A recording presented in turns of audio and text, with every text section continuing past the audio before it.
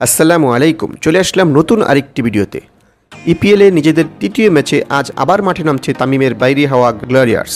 আজ তাদের প্রতিপক্ষ বিরাটনগর ওয়ারিয়ার্স। খেলাটি শুরু হবে বাংলাদেশ সময় পৌনে দুইটায়।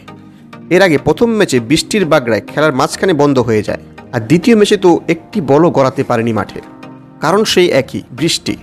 বৃষ্টির কারণে তামিমের অপেক্ষা যেমনিভাবে বাড়ছে, তেমনিভাবে বাংলাদেশের ক্রিকেট প্রেমীদেরও তামিমের খেলা দেখতে না পারা হতাশা বাড়ছে।